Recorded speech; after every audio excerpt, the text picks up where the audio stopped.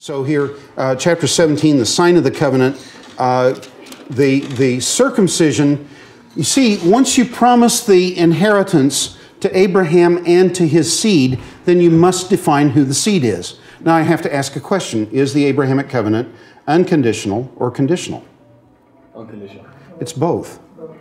It's unconditional in that it will surely be fulfilled to Abraham and to his seed, but it's conditional to all those who are descended from Abraham because they may debar themselves from inheritance.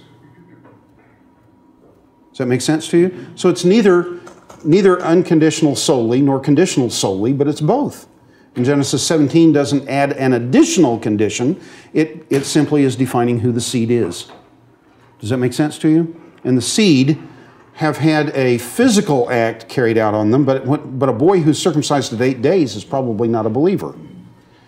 When I circumcise my son, I am committing myself to raise him in the faith, as it were. Does that make sense to you? It doesn't guarantee he will come to faith, but I, I commit myself to raise him in the faith and to teach him uh, the faith that uh, is the faith of Abraham. Chapter 18, and from this uh, 18, I want to make a comment or two about.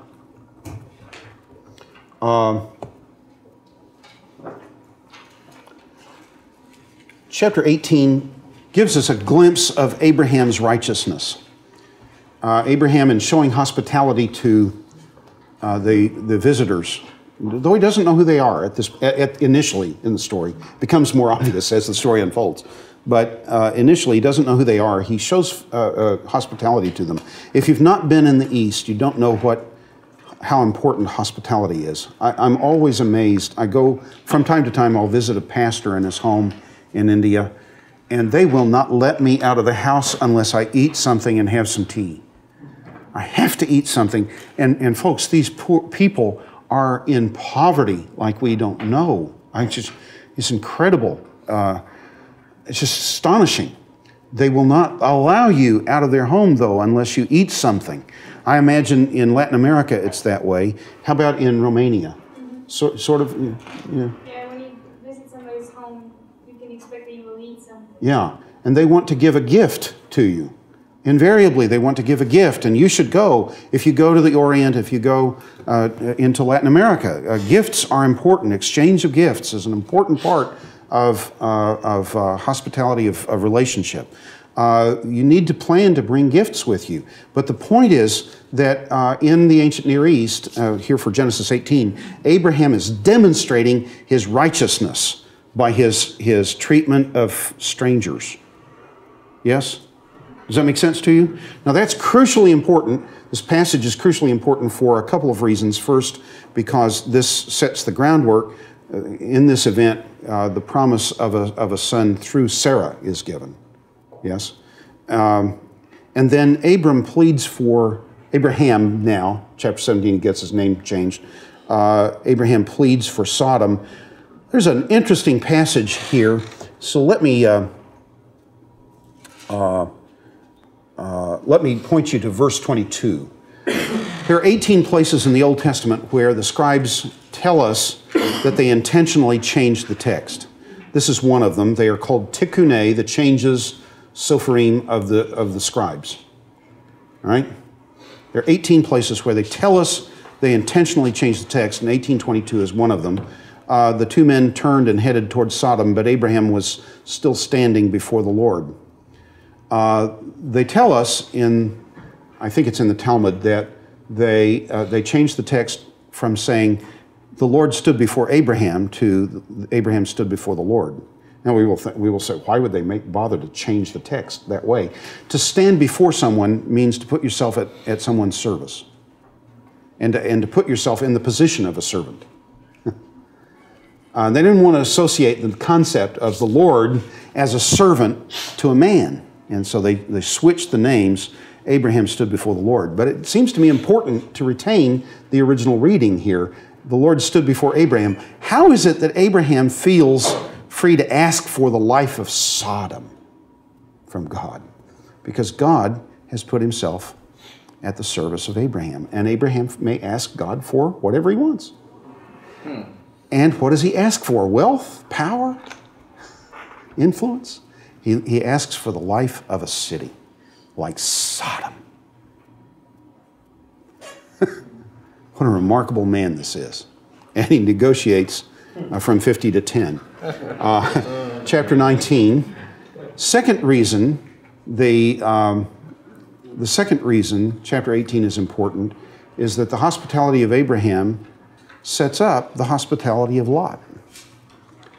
And here is where I see the righteousness of Lot. If, if Abraham is righteous in his hospitality, Lot also is righteous in his hospitality, though it is a compromised righteousness.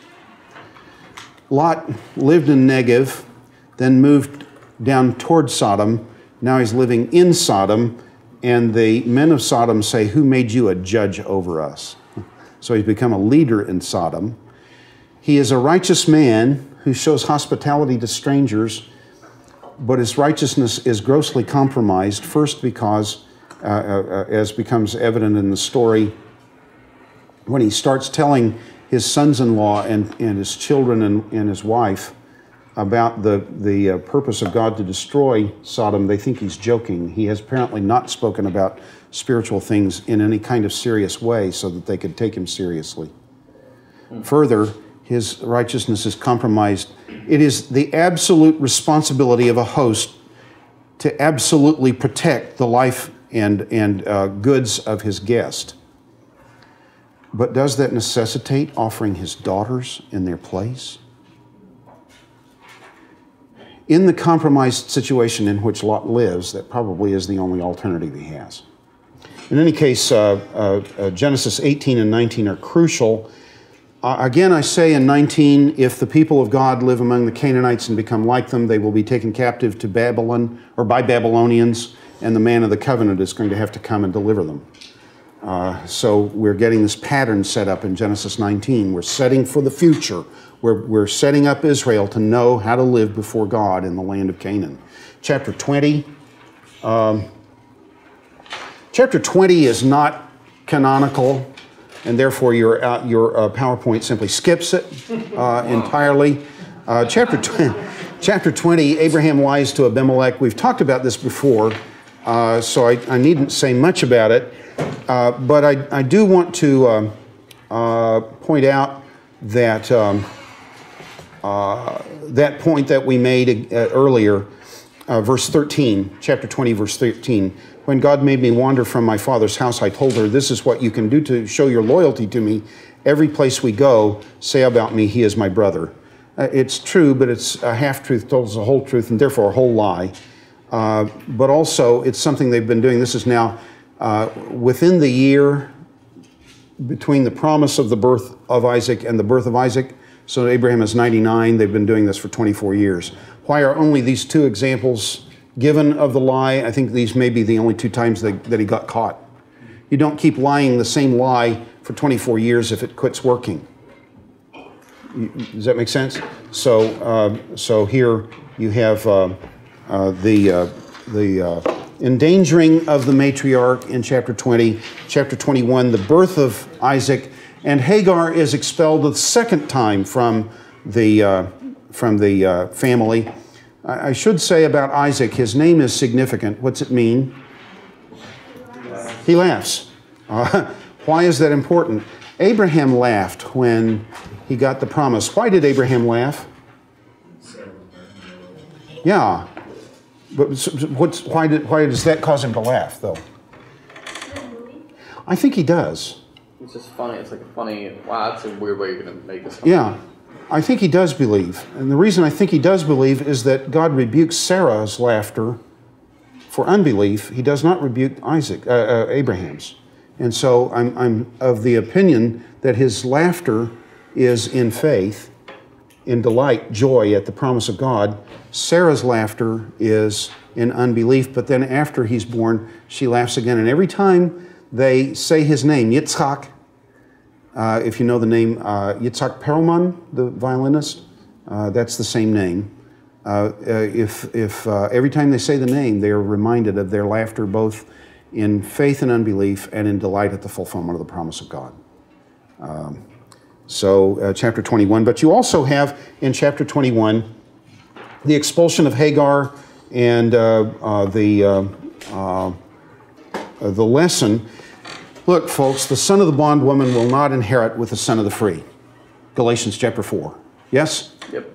But further, the, the bondwoman, the bondwoman, the bondwoman is driven out into the wilderness where there is no water and God leaves her to die. Yes?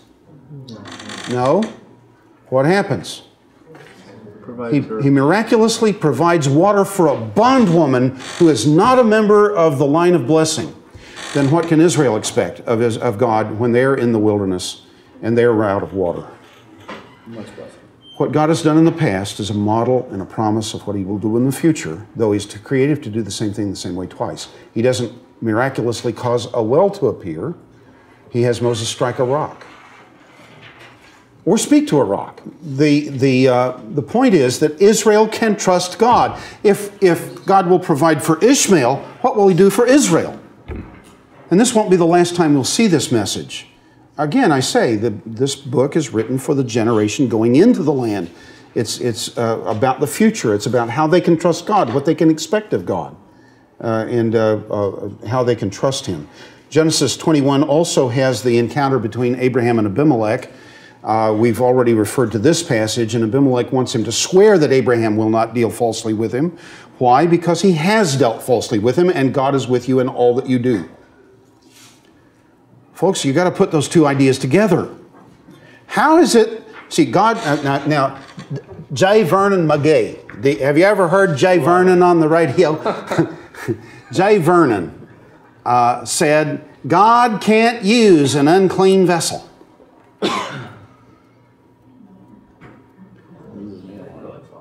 Hmm? What'd you say? Really? That's what he said. Right. I've heard that all my life. I've heard it all my life. God can't use an unclean vessel. I have to ask the question is it true? No. How do you know? He's never used anyone but Jesus. Yeah, that's right. that's good. That's the best evidence. Uh, in Genesis, he uses Abraham. He is with you in all that you do, and he lies, and God is with him. That doesn't make Abraham a clean vessel. Uh, later, we shall see in Numbers the, uh, Balaam's donkey. Is a donkey a clean animal or an unclean animal? What is it? Unclean. God used Balaam's donkey. Yes? Then, can God use an unclean vessel? Sure. Not only can, he does consistently. On what basis can he use an unclean vessel then?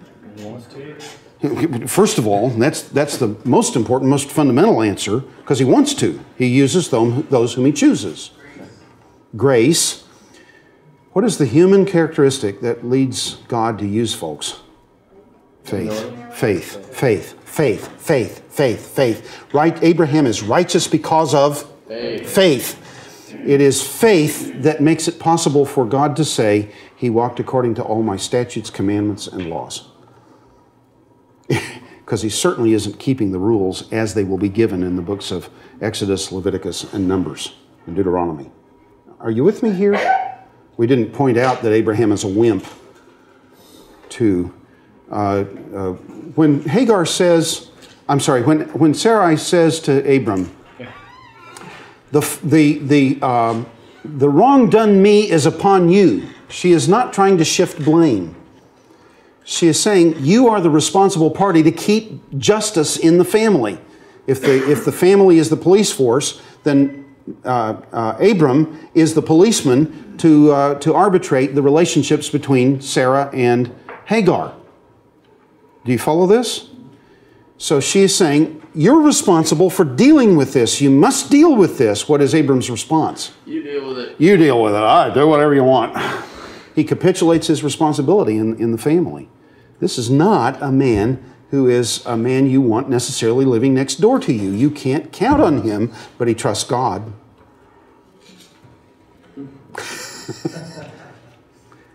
and that makes him an acceptable vessel before God and righteous without works. Aren't we also those sinner and saints? Yes, simul justus et peccator. Uh, uh, so at the same time, just and a sinner.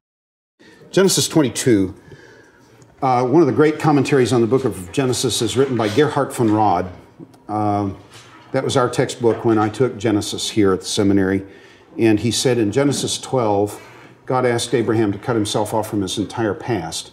In Genesis 22, he asked Abraham to cut himself off from his entire future.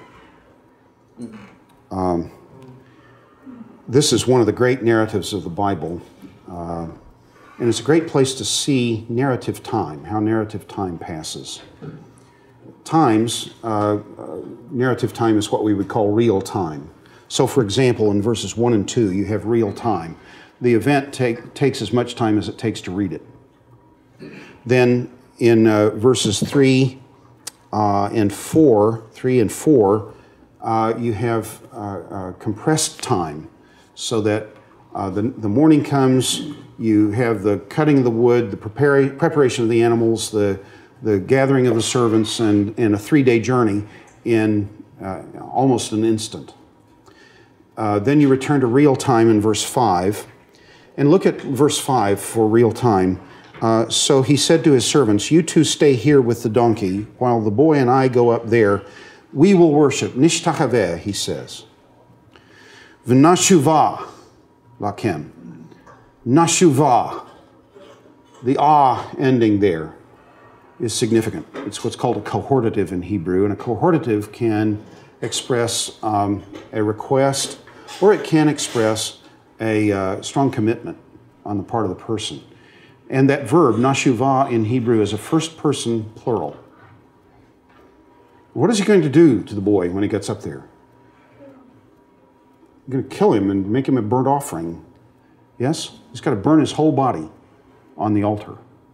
Doesn't have to burn him to ashes, but he does have to burn it, the whole body on the altar.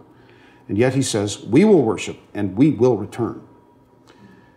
Uh, early in my life, I studied Hebrews. I uh, had an independent study uh, to translate the book of Hebrews for a class uh, for uh, in college. And I got to Hebrews 11, and I thought, how in the world did he know? How, how, did, how in the world did the author of Hebrews know that Abraham believed God would raise him from the dead? Um, and I thought, well, God must just have revealed it to the author, and that, that's all I could handle. Then I got into the Genesis class and they told me this Abraham is already confident that Isaac is going to walk back down the mountain. He says we. Yeah, because we will return. Even after he's been burned, not only Mm-hmm. killed. Yeah, not only killed, but burned. So his body's going to be reconstructed. That's right. and Not only raised. So here is Abraham. Why does he wait? Uh, by the way, since Isaac carries the wood, how old is Isaac? Probably 17 or something. Yeah, has to be in his later teens, maybe early 20s. For ease of math, I'm always for ease of math. Uh, Abraham is 100 when Isaac is born. J- Just as an aside here, if I was 20 and my dad was 120 and he came, he built an altar and we're going to make sacrifice, but we have no animal, and he came at me with a rope. I think I could take him, at least I think I could outrun him. Yes? So, what does that suggest about the relationship between Isaac and Abraham? An incredible relationship between these two men. Um, uh, but uh, um, then we come to, to expanded time in the story. How do you answer the question? Verse 7 Isaac said to his father Ab- Abraham, My father, what is it, my son? He replied, Here is the fire and the wood, Isaac said, but where is the lamb for the offering? How do you answer that question? If you're Abraham, how do you answer that question? Um, when they came to the place God had told him about, Abraham built the altar there and arranged the wood on it. Next, he tied up his son Isaac and placed him on the altar on top of the wood. Then Abraham reached out his hand, and here's where we come to, to expanded time. How long does it take to reach out and take a knife? Just a second. But here, the time to even read it is longer than the time it takes to do it. So, so if I were if I were filming this, I would have that in slow motion. Probably going to happen in slow motion too. Yeah, probably so. and then the angel speaks Abraham, Abraham, Hineni, here am I. Uh, and uh, the angel um, said, Do not harm the boy. The angel said, Do not do anything to him, for now I know that you fear God because you do not withhold your son, your only son, from me. The word that's translated your only son also means beloved. It's driven home. Isaac is the man of the blessing. Isaac is the one through whom all the promises will be made. And here's an incredible obstacle to the promise. God hadn't, so far as I know, God had said nothing to Abraham about resurrection of the dead. Then how did Abraham figure out about the resurrection of the dead? I don't know. Again, all I can do is offer speculation, but here's my speculation. Abraham is now 100, uh, probably 120. Yes? Uh, he's 120, and God keeps telling him, I'm going to give you the land. And when I say, "Will Abraham? Does Abraham ever get the land?" and they people will say, "Well, and his children." That's not me. I, I don't know. I know I live in a different culture, but that still isn't me. So it may be that God, that Abraham reasoned, just as he reasoned here, that God would. He reasoned from two facts. Isaac is the seed, and I got to kill Isaac. He reasoned from that to a conclusion, building his faith, God's going to raise the boy from the dead. He may have reasoned from two other facts. I'm getting older and older and older, and I'm getting nowhere near possessing the land. And yet God promises not only to my seed, but to me that He will give me the land. Then God's going to raise me from the dead, and that's when I'm going to inherit it. And that may be how he, he concluded that there was a resurrection from the dead then folks, learn something more about faith. I can grow in my faith by taking the, taking the what seem to be incoherent statements of God, reasoning from them to conclusions, and, and I can trust God from his apparently incoherent statements. Does this make sense to you? And I risk on the incoherences of God. This, this man is an amazing man of faith he has grown over the years 45 years walking with God before he's ready to cut himself off from his entire future. Yes. I might have missed this point earlier, but um, in a few verses previous, he says, God will, in answering his son, God will yes. provide a land. Uh huh.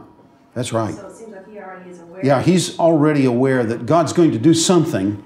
I, I can't. Exactly. Yeah, I, I can't tell my son I'm going to kill you. that's, what that's where the sacrifice is coming from.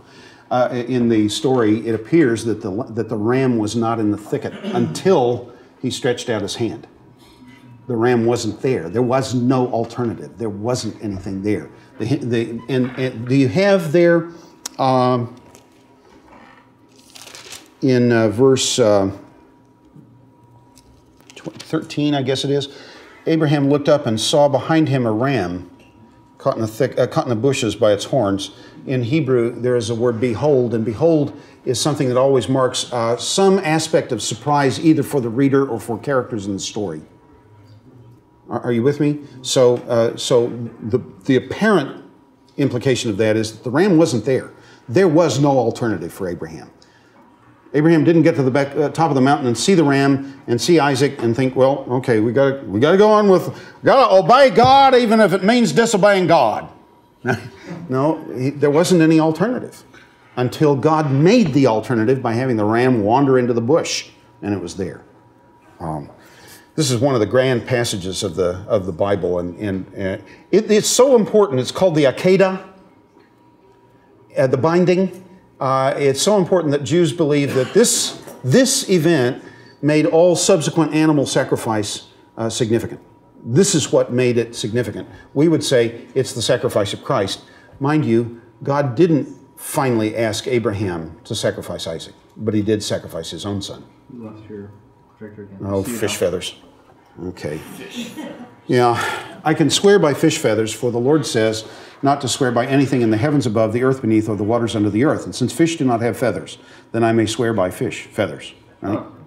Right? So there it is. Legal loophole. Yeah, I'm, I'm on sound ground. Uh, That's right. Because I have great wisdom, great insight. Yeah. So I don't have a PhD, by the way. I have a THD, but just just just for truth in advertising. uh, I get to wear the, the uh, scarlet uh, hood instead of the blue ones everybody else has. I have the scarlet ones. okay, my, my brothers in the back are, are smirking as I say these things. Uh, one, of the, one of the great lessons in Genesis 22 for us and for Israel is going to be ultimately, if you saw it before the, the projector went off, what do you really love about God? Do you love God or do you love His gifts? What, what really matters most? And this will be the great issue for Israel. What, what do you really value in God, his, his person or His gifts?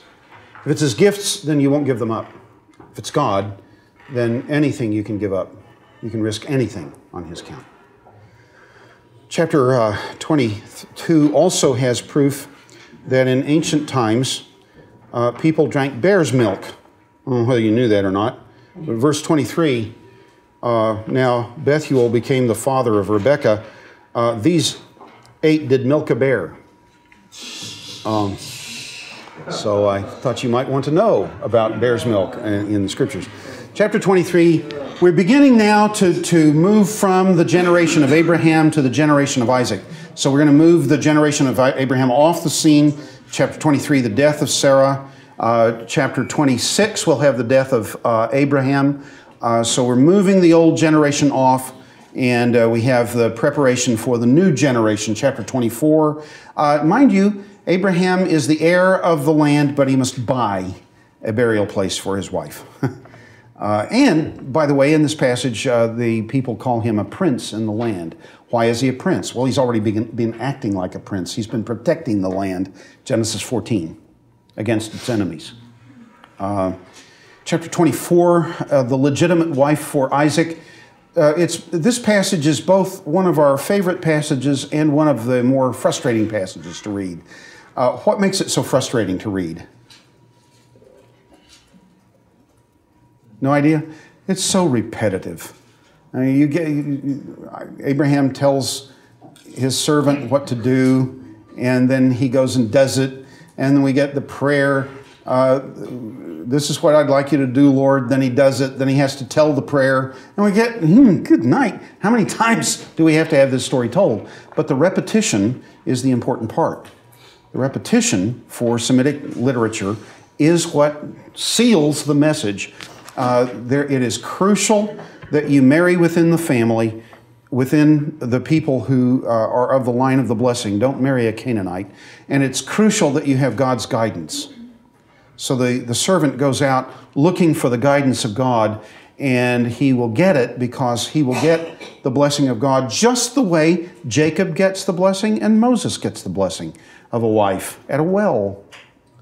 So the people will have that sto- those stories in their minds, and, and the, the uh, servant of, of Abraham finds a wife for Isaac the same way that uh, Jacob and uh, Moses find wives. Uh, this passage also demonstrates that uh, smoking is a very ancient um, practice in the world because she lit off her camel uh, when she came to the land. so I knew you want to know these things. I, you, you hear because you want to learn. And so I pass these on to you. Chapter 25.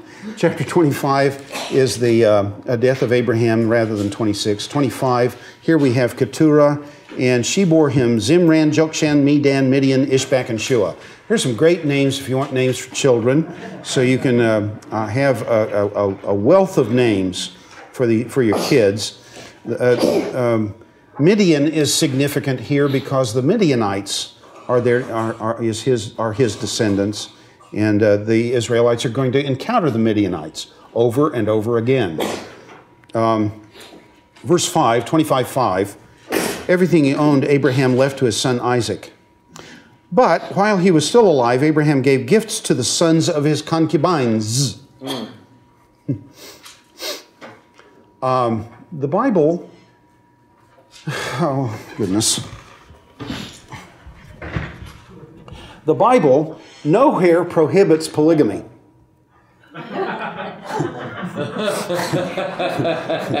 okay. I don't see any stones or tomatoes coming out, so I'll get back in my chair. Uh, Say again? Did you say that ex-Catholic? Yeah, it was out of the chair as well. You can't be a deacon, right? Yeah, yeah, but uh, but it, but two things that we should say in nuancing that. One is it never presents polygamy in a good light. Always, polygamy causes us more trouble than it than it solves. And secondly, for leaders, polygamy is prohibited. So the high priest, the uh, elders and deacons in the church are not permitted to be polygamous. So you have uh, you have those restrictions on that, but nowhere does the Bible prohibit polygamy that has led to all kinds of our, our assumption that it does has led to all kinds of problems in our missionary uh, efforts. Um, the name of God has been led into reproach by the fact that people have uh, uh, missionaries have forced men to put away their wives, and often in the cultures there's no alternative left to them but prostitution, and that cannot possibly be a good testimony for Christ. So, uh, so let us be let us be aware that the Bible really does not prohibit polygamy. It doesn't present it in a good light. Uh, it's always it's always uh, uh, damaging in family relationships, but it doesn't prohibit it. Concubines either doesn't prohibit concubines either. But a concubine is not uh, a prostitute. She is uh, in a polygamous society. You have various levels of relationships between a man and a woman. Uh, Sarah, her name means princess, so she is probably a high-ranking person in the culture, and so she will be a wife of the first rank. Then there are wives of second and third ranks who have uh, less expectation for their children in inheritance, and a concubine's children wouldn't have the, uh, anywhere near the same. They would expect to receive gifts as these do, but not necessarily any inheritance from the family. So are they, are they wives? Yeah. They're, but they're of, of such an inferior rank that they, they uh, can't expect any inheritance from the family. Do Yes, they- ma'am. Does- Doesn't the teaching of Jesus about divorce, you know, you're not supposed to have another wife after you're divorced, mean that you're not supposed to have another wife at the same time? Yes, yes, and, and God's pattern certainly is monogamy. Uh, that, that, that's what God uh, holds up always as the best, but He doesn't absolutely prohibit polygamy. Yeah, so you're absolutely right. And I, I'm, I'm of the opinion that ultimately uh, in the church, uh, in light of the teaching of the Apostle Paul, that we're not even permitted to divorce, and therefore remarriage cannot even be an issue. Uh, and that's a problematic for me because my parents are divorced and both remarried, and my stepfather is one of the most godly men that I know. I, uh, this is a great blessing for me, but, but I'm, I just have no basis from Scripture to say that in the church we have the privilege even of divorce. So uh, now that, of course, is controversial, and people hold different views on that, but that's my particular view. Uh, chapter 25 not only gives us the death of Abraham, I should add, verse 7 is, the, is a description of a. I, now, what I'm going to be saying uh, here is going to be a little jarring, but, but hold on. It's, it's a description of a blessed death. It's hard for us to think of any, of any death as blessed, but verse 7 Abraham lived a total of 175 years. Abraham breathed his last and died at a good old age, an old man who had lived a full life. He joined his ancestors. His sons Isaac and Ishmael buried him in the cave of Machpelah near Mamre in the field of Ephron, the son of Zohar the Hethite. Uh, this is a blessed death, and godly people in the rest of Genesis will die this way. So Isaac will die this way, Jacob will die this way, uh, Joseph dies this way. You have your children around you, you, you, you live many years full of life, everything has been blessing. This is a blessed death. Um, you have in the next part of chapter 25, down through verse uh, 18, the descent of Ishmael. And in Ishmael's descent, how many children does he have? 12. There are 12 tribes of Ishmael. Before there are 12 tribes of Israel. uh, shouldn't Israel be getting the blessing? But worldly greatness is swifter than spiritual greatness.